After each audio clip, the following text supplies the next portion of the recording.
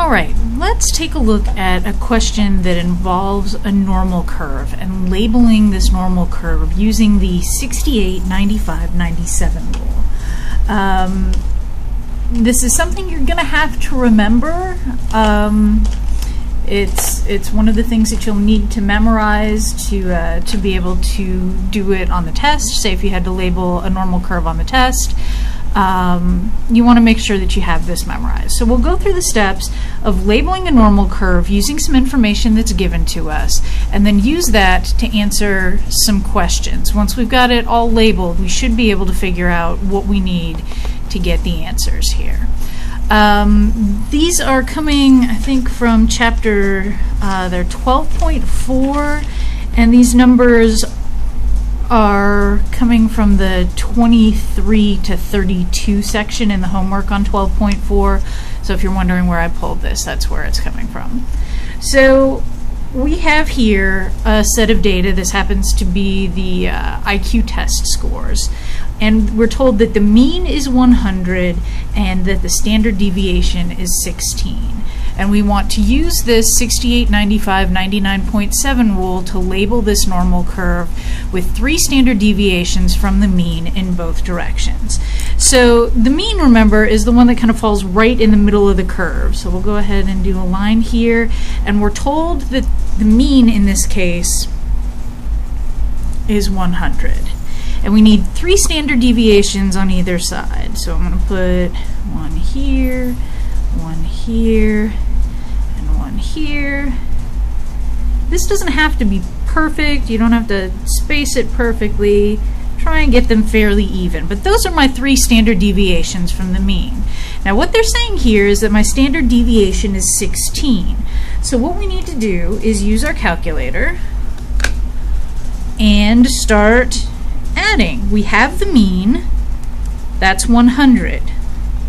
The first standard deviation from the mean is just going to be 100 plus 16. And that's 116. For the second standard deviation, we're just going to add another 16. Every time we move away from the mean, we add another 16. So I'm going to plus 16 here. That gives me 132 plus 16 gives me 148. So there are my standard deviations above the mean of 100. And all I did was look and they said start at 100, so 100's in the middle, and then every standard deviation we go over, I'm going to add 16. So 116, 132, and 148. Now we do the same thing in the opposite direction. We're just going to subtract. I'm not sure if you can, yeah, it looks like you can see that. So 100 minus 16. Well, that gives me 84. Subtract 16, 68. Subtract 16, 52. Okay? So my standard deviations here, I have my mean. This is 1 above, 2 above, 3 above. This is 1 below, 2 below, and 3 below. And all I'm doing is just moving in increments of 16 away from my mean. Um, it's going to be helpful for answering these questions if we label the percentages as well. What's going on with that, uh, that um, 68, 95, 99.7 rule. And that rule told us, I'm going to make a, trying to figure out, I didn't organize my paper as well as I would have liked. Um, that rule tells us that one standard deviation either above or below the mean. In this area right here, 68% of people fall into that category, or 68% of scores fall into that category. We're not necessarily always talking about people. In this case, we're talking about test scores. So the 68 from the 68, 95, 99.7 rule is for things that are between one standard deviation below and one standard deviation above. Um, and then let me get a different color. We need to look at two standard deviations above and below. And I'm going to kind of, this is going to cross into my thing here. So this information here, between two standard deviations below and two standard deviations above, that's the 95%. 95% of the scores will fall into that range. And then we've got one more, get another slightly less shocking color so that it doesn't cover everything up.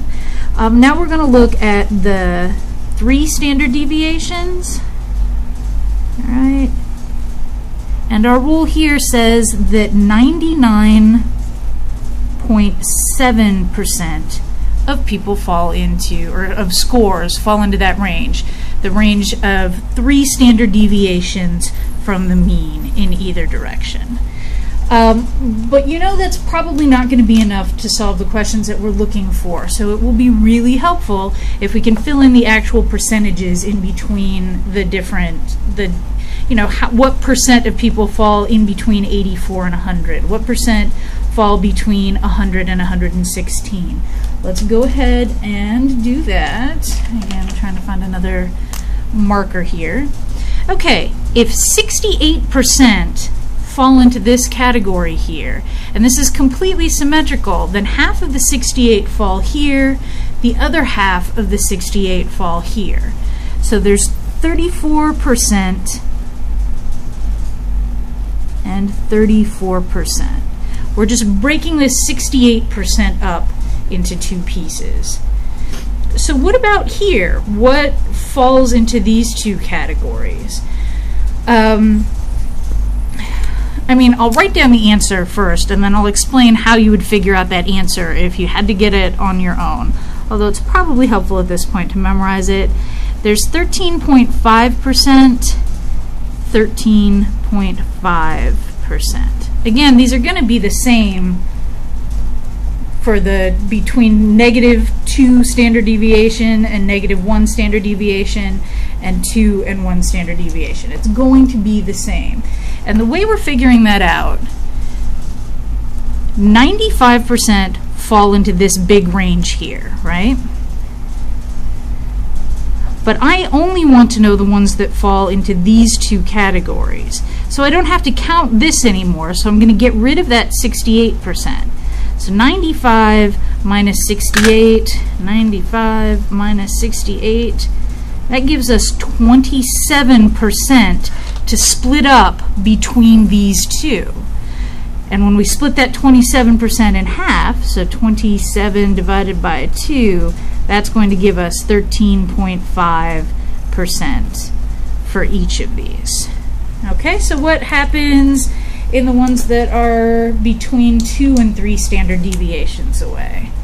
Well, those are going to be 2.35%. 2.35%. Okay, same idea. Here we've got 99.7. I'll do that work over here. 99.7. I'm not sure if we can see that. Minus well, we're only looking at what's in here, so we can subtract that whole 95% that's floating around there. So 95%, and that, if you plug it into your calculator, is going to give you 99.7 minus 95. It's 4.7. All right, but that's 4.7 to split between those two, and when we do 4.7% divided by 2, that's going to give us our 2.35%. Right? And so we still have the little fringes here. What's happening out here? What percent is, is in those places? I wish I had a sharper marker so that it didn't, uh, didn't bleed quite as much. Um, but the percentages in that range are 0.15%. 0.15%. How do we get that? Well, we get that the same way we got the other ones. This takes us, theoretically, out to 100%. So these are the things that didn't get counted in the other 99.7%.